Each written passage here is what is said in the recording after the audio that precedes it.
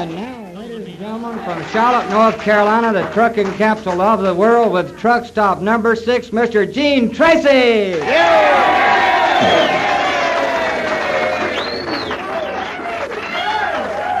Well, howdy. And good evening, everybody. We're going to have another wild time tonight.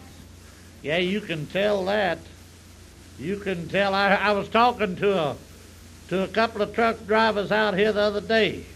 They were talking about going into a truck stop up in Montana. Last winter, it's all snowdy, and they asked the truck stop operator, said, What in the hell do y'all do up here all winter? You snowed in like this? He said, Well, we hunt and fuck. Yeah, truck driver said, What do you hunt? He said, Something to fuck. Seems like, yeah.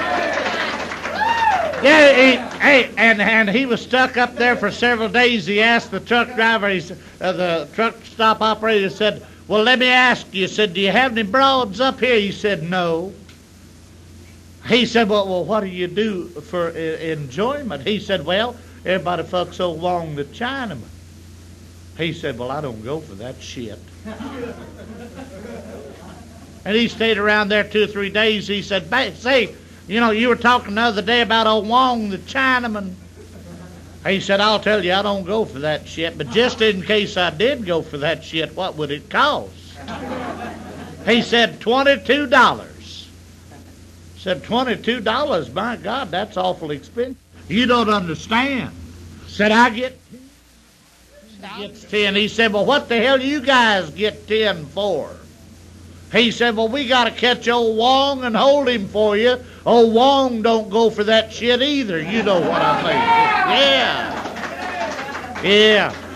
Yeah, you, you heard about the you heard about the old whore that'd been in this same old whorehouse for fifty years, had this great big fortune gathered, and she retired and she wanted to fulfill her lifelong dream, and that was to marry a virgin man over 40. And she sent out feelers all over the world. And she finally found a guy down in Australia. The guy's 44 years old, never been to bed with a woman. And she wrote to him, and he agreed to marry her. And on their wedding night, she went in the bathroom to put on her nightie and came out, and he was standing stark naked in the middle of the room. And he'd taken the bed and the couch and the dresser and the chairs and the lamps and stacked all the furniture up in the corner. She said, What the hell's going on here? He said, Well, that's true, love.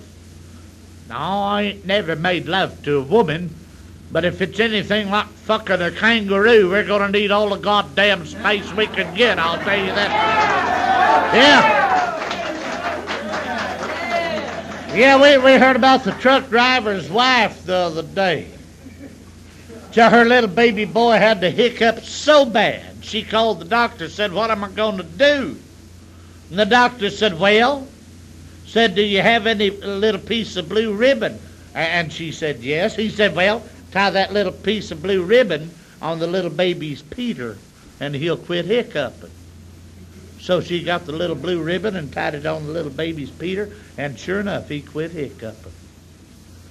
And about three nights later, her husband, this old truck driver, drove for United, drunker than hell. Come in and he hit the sack and he started that hiccuping so bad it was shaking the bed. And she got up and got that blue ribbon and tied on his Peter. And it slowed the hiccups down, but it didn't stop them altogether. So she got up to find another piece of blue, but she couldn't find a piece of blue ribbon. So she found a piece of red ribbon and tied that on his Peter, too. And sure enough, it cured his hiccups. And the next morning, he got up and went to the bathroom to take a piss. All hung over. And he reached down and grabbed it and seen that blue ribbon, that red ribbon. He said, God damn sport. I don't know where in the hell we was at last night, but we sure as hell come in first and second, didn't we? I'll yeah. Oh yeah. Yeah. Heard about that ICC inspector? ICC inspector took a goat home, told his wife, he said, honey, I got us a new pet. She said, a new pet? He said, yeah, I got us a new pet. I got us a goat. She said, well, where in the hell's the goat going to sleep? He said, well, he's going to sleep under the bed. His wife said, well, what the hell we going to do about the smell? That ICC inspector said, well, let him get used to the son of a bitch like I did. You know what I mean. That's damn right.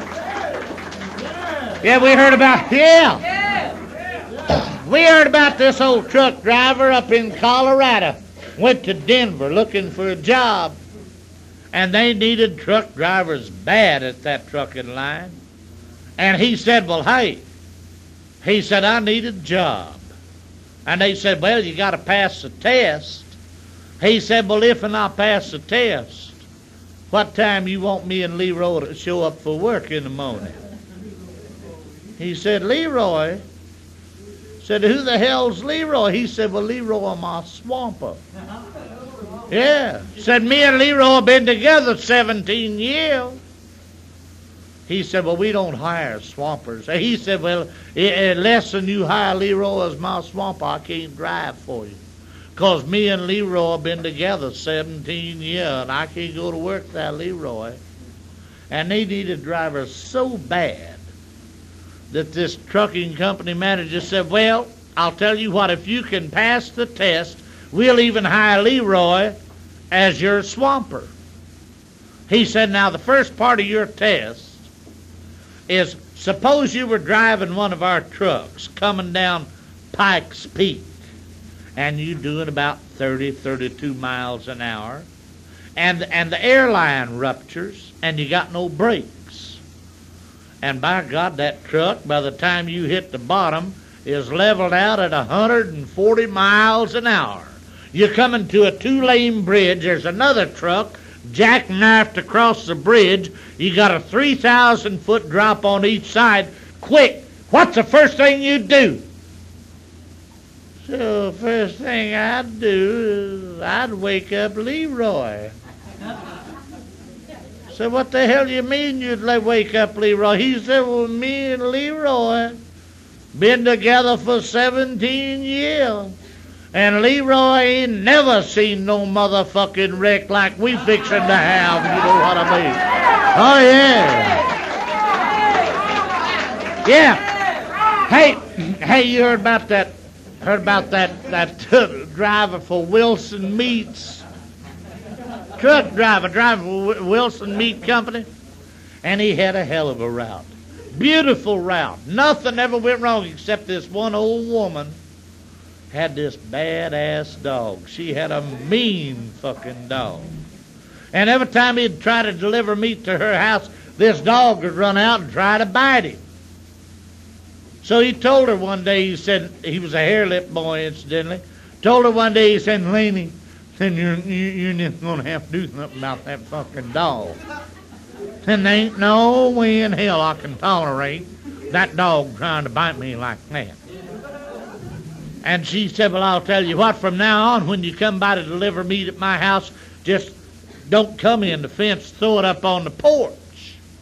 He said, Oh, shit, we're going to have to do something. He said, huh? Three weeks every time he'd come to her house, he'd just especially for you. Till he came by one day, had two pounds of bacon, started to throw up, up, up on her porch. And she came out, she said, Oh, sir. And yes, ma'am. She said, Sir, said you don't have to throw the meat up on the porch, you can just bring it up to me now. Said, what? Let that goddamn dog get me? She said, No, sir, you don't understand. Said uh, said that that dog is in a position now where he wouldn't harm anybody. The hair lip What the matter, lady? Is he thick? She said, No. No, she said, what what happened? Said we uh, we had him castrated. He's incarcerated. What the hell is that? She said, well, in the language of the layman, said we, we cut his nuts out. He said, goddamn, lady, said, that's awful nice of you. Said, but you sure went to a hell of a lot of trouble for nothing. Said, I'll tell you the truth. Uh, you shouldn't have cut his nuts out.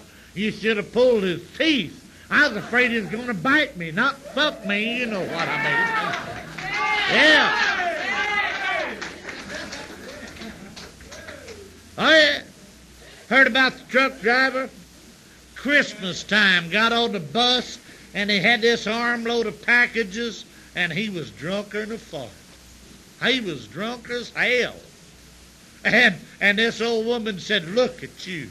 Said, Terrible thing you are, drunk like this. Here it's coming on Christmas time, and you're drunk. Said, I'm not such a bad guy. Couldn't you see it? He said, No, it's the truth. Said, you see this package over here? I just bought my kid a set of roller skates. Cost $87. And this package over here, I just bought my daughter brand new evening gown. Cost $420. And you see this package here? I just bought my wife a new mink coat. Cost me $1,200. Lady, you know what I'm going to get for Christmas? Three white shirts and a piece of ass, and all four of them going to be two sizes too big, I'll tell you. That's right. Oh. That truck driver came home to his wife said, you know, honey, while you was gone, said there's a damn burglar sneaked in here. Truck driver said, My God, did he get anything? She said, Hell yes, I thought it was you. You know what I'm coming. Oh. Oh yeah. Yeah. Heard about the truck driver up in Palmyra, Indiana. Stopped there at the tree truck stop and went down the road just a little bit to a whorehouse.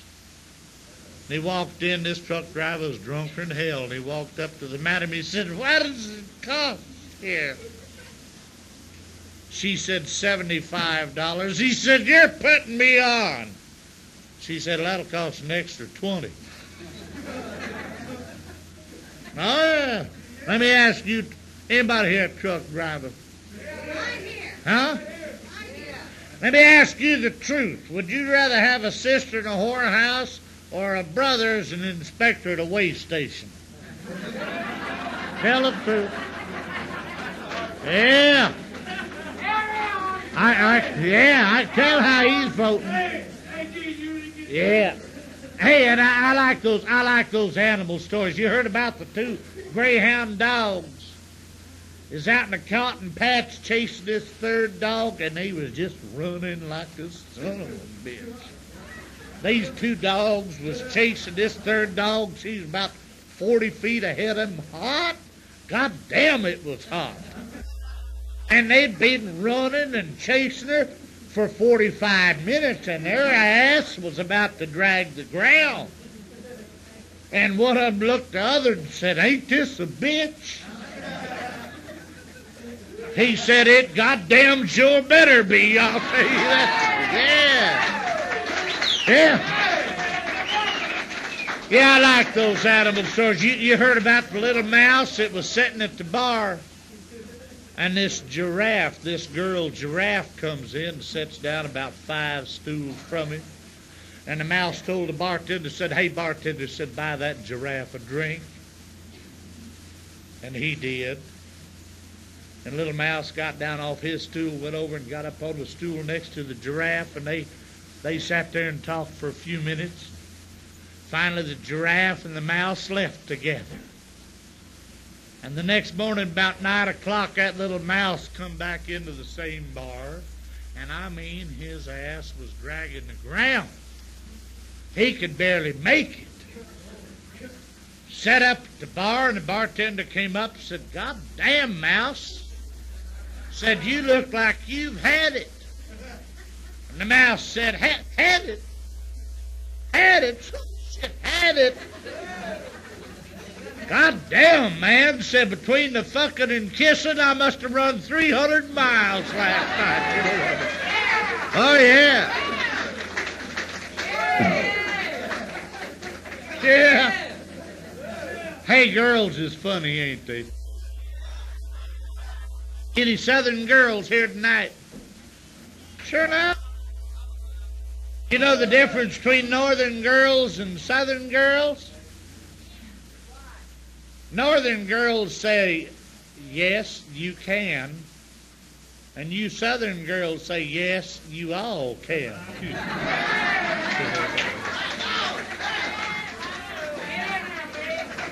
Yeah.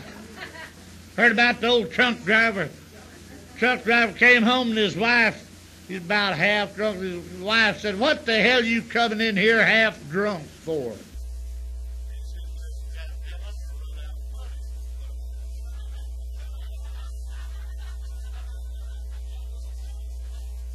Heard about the about the truck driver pulled into the truck stop where they sold beer.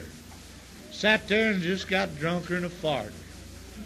He got up and walked out away from the truck stop, and he's wandering out over this open field, and, he comes across a cemetery, and there's a brand new grave there that they're going to put somebody in tomorrow, and that poor son it trips and falls in the grave. There's about three inches of water in the bottom, and he's there shivering and freezing. About 30 minutes later, here comes another truck driver out of the same truck stop walking across the same cemetery, and he hears this voice says, Help me, I'm cold. Help me, I'm cold.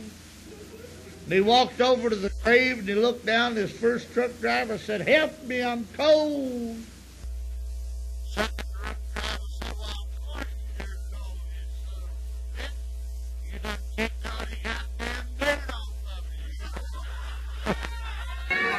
Yeah.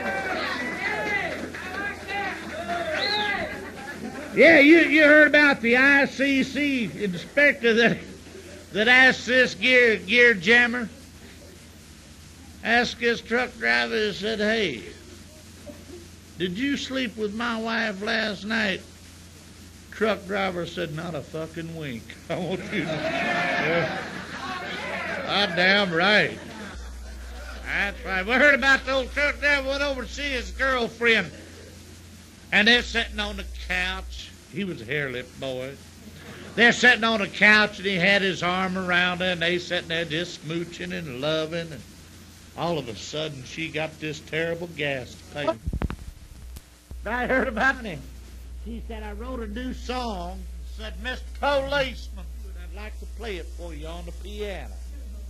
And she walked up to the piano and sat down and she played up and down the keys a little bit, and all of a sudden, bang! She hit a chord and she let a fart. And she played up and down the keys again a little bit and whang! She hit another chord and she let another fart. And she quit and turned around and looked at him. She said, Well, honey, how'd you like that song I wrote, The Storm? And then, then, God damn. Then that was beautiful. Said, I'm a son of a bitch. I never heard a song like that. He said, sweetheart, let me ask you a question. Then what the hell do you call that song? She said, well, I named it The Storm. He said, I'm a son of a bitch. He said, that's the most that's the most realistic song I ever heard in my life. He said, darling, do me a favor. He said, play that son of a bitch again only this time, leave out that part where the lightning strikes the shit house. Would you do that for me? yeah. About the truck driver driving along and he sees this car pulled off to the side. Got a flat tire. And he gets out and he walks up and, and the driver of the car is drunker than hell. And he asked the driver, he said, What the hell's going on? He said, I, I got a flat tire. He said, Well, hell, I can tell that. Said, How'd you get a flat? He said, I run over a milk bottle. Bottle? Goddamn, said, a lie. This kid was hiding it up.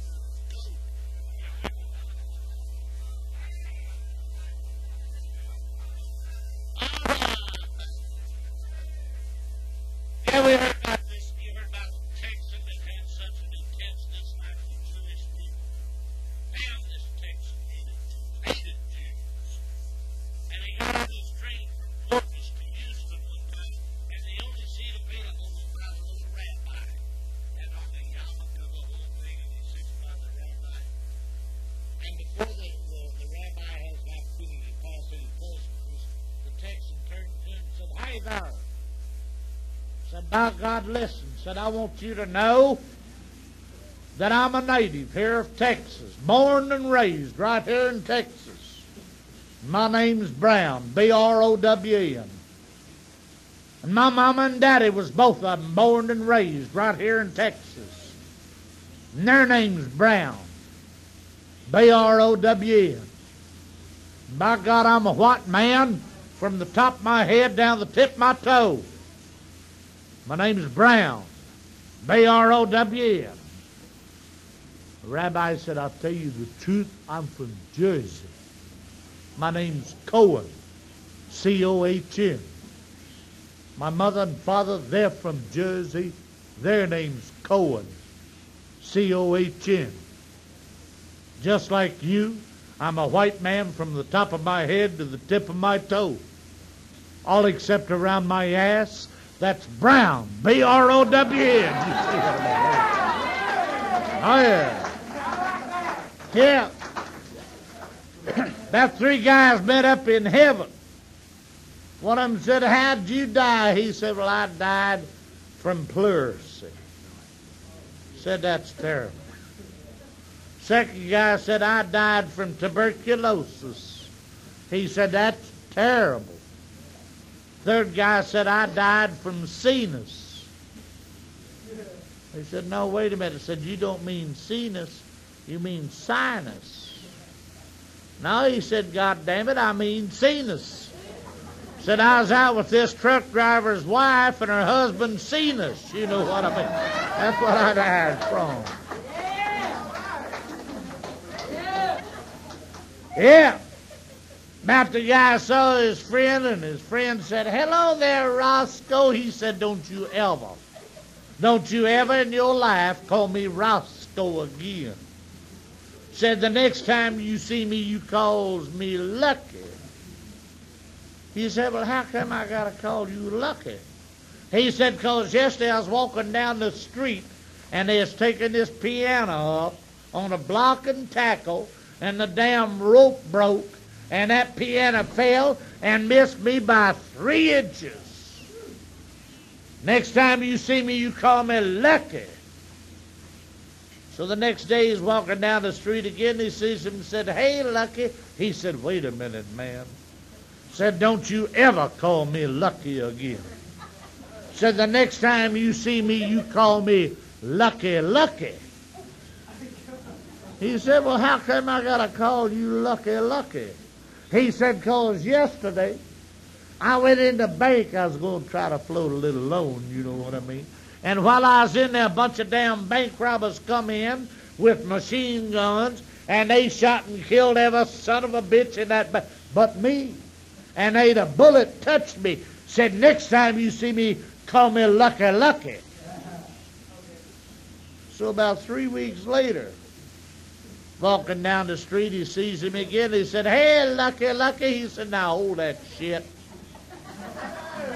Said, Don't you ever call me Lucky, Lucky again. The next time you see me, you calls me Lucky, Lucky, Lucky. He said, Well, goddamn. How come I gotta call you Lucky, Lucky, Lucky? He said, Because last night me and the old lady was getting a piece of ass on the couch in front of the fireplace. and there was a boiler explosion in the basement of this apartment house, and that chandelier fell and hit me in the ass, and they had to take 22 stitches across the back of my eyes. He said, Well, I understand that, but how come that make you lucky, lucky, lucky? He said, Man, if that motherfucking explosion had happened three minutes early, that chandelier to hit me right in the back of the head. Don't you know what I mean?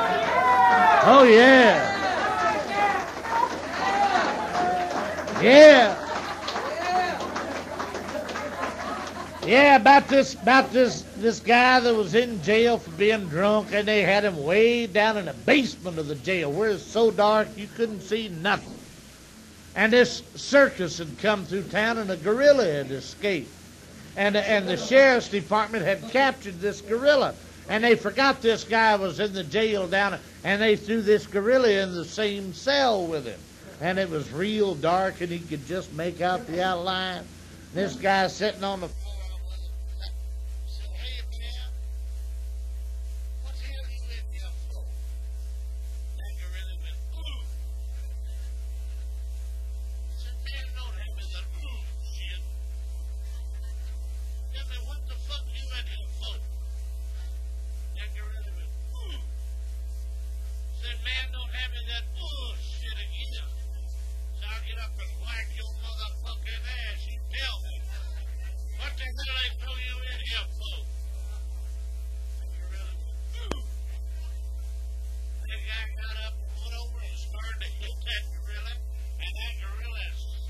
him and knocked him 20 feet. Clear across the cell, he hit the brick wall and fell to the floor. He looked up, he said, Motherfucker, I know what you in here for. He said, You in here for murder and you is a guilty motherfucker. Yeah. Yeah, we heard about heard about the drunk truck driver they took down to the police station truck driver was sitting in there and said, What? I heard the girl that called the police station said, Miss. Gentleman from Charlotte, North Carolina. Miss Policeman said there's a sex maniac loose in my house. I want you to come get him. Hmm, first thing in the morning.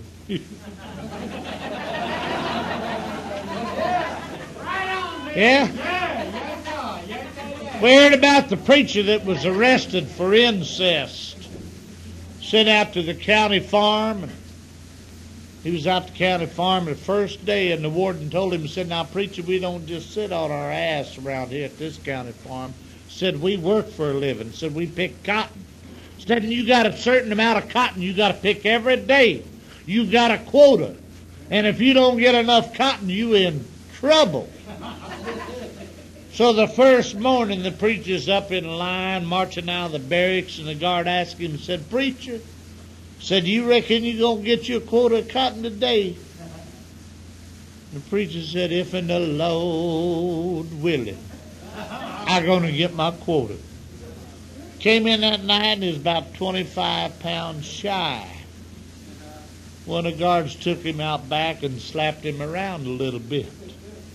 The next morning they're marching out, and the guard asked him again and said, Preacher, said, You reckon you're going to get your quota today? He said, If in the Lord willing, I'm going to get my quota. Come in that night is a hundred pounds shy. And about six of them guards took him out behind the barracks, and I mean, they kicked the shit out of him. God damn, they worked him over. They beat his ass up. Bastard could just barely drag in the tin, and my bartender gets tin. Marching out of the barracks, and the guard said, Preacher, you reckon you're going to get your quota of cotton today? And the preacher said, if in there enough motherfucking cotton out there, I'm going to get my goddamn quota. I tell you that, yeah. Damn right. Damn right. Hey, you heard about that drunk truck driver? Somebody's rolled for Hennis. And this, this truck driver, drunker than hell, he's driving this truck the wrong way on a one-way street. That's the truth. And this policeman drove up to him and he said, Where the hell are you going? Truck driver said, Goddamn if I know, but I must be late. Everybody's already started home. I know that. Yeah. Policeman said, Didn't you see them arrows? He said, Shit, I didn't even see the Indians. Policeman said, You run that light back there. Said, Didn't you see that red light? Hennis driver said, Shit, I didn't see the whorehouse. I don't know. The hell I'm doing. Hey, I heard about David drives for Homelites. Old Dave. Dave, Dave, Dave was uh, talking to a friend of his. And they, they both you know, cord wood. Dave drives the truck a little bit, and he cords wood a little bit. But but uh, Dave drives for Homelite primarily. But he was talking to a friend of his that cords wood for him. And, his friend said, Well, how many cord of wood you getting a day now? David said, Hell, I'm getting five, six cord a day. Said, How many you get? He said, Shit, I can't get more than one or two. He said, Well, hell, you, you're using the old fashioned system. Said, What you want to do is get one of those Homelite hand saws. He said, Sure enough. Said, Yeah, get one of those hand saws. Said, Hell, you could cord seven or eight cords of wood a day. So the guy went down got one of those Homelite hand Later, David sees him. He said, "How you doing now?" He said, "Well, I up to full code." Said, "But I can't get seven, eight cord." He said, "But David said, "Well, God damn it, you're doing something wrong." Said something's wrong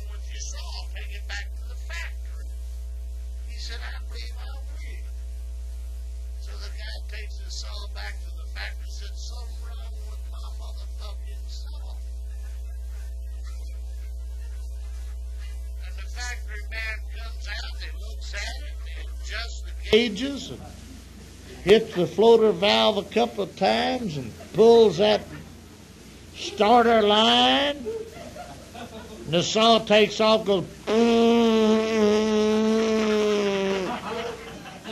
This guy jumped back and said, What that motherfucking noise?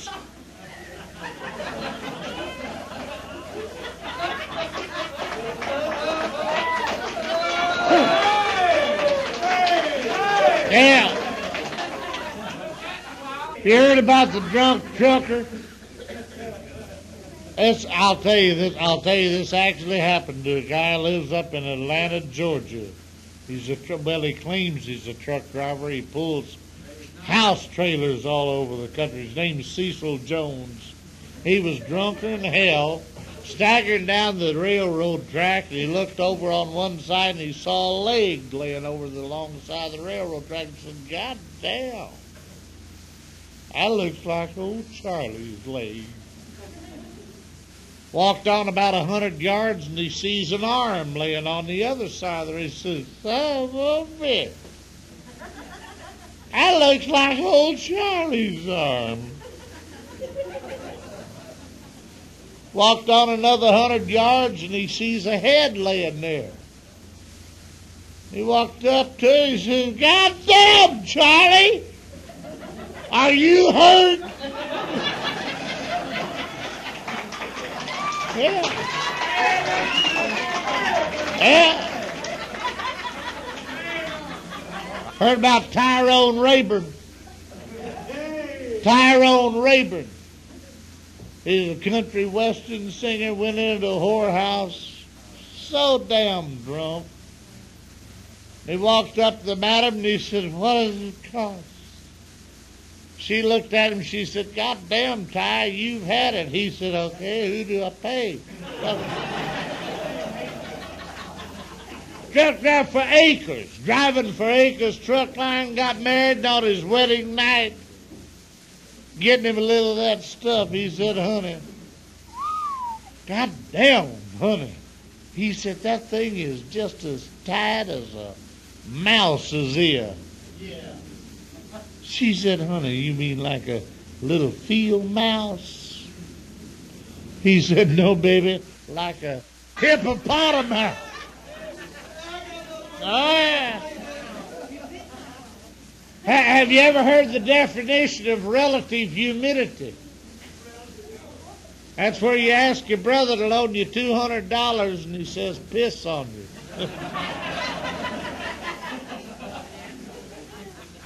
Here lies the bones of Screwy Dick. At birth, he was blessed with a corkscrew prick. His life he spent in the futile hunt to find the girl with a corkscrew cunt. Well, he finally found her, but then fell dead. That son of a bitch had a left hand thread. Damn. There was an old hermit named Dave. Kept this dead whore in his cave. Now he had to admit that it stunk up like shit, but Christ thinking the money he'd saved.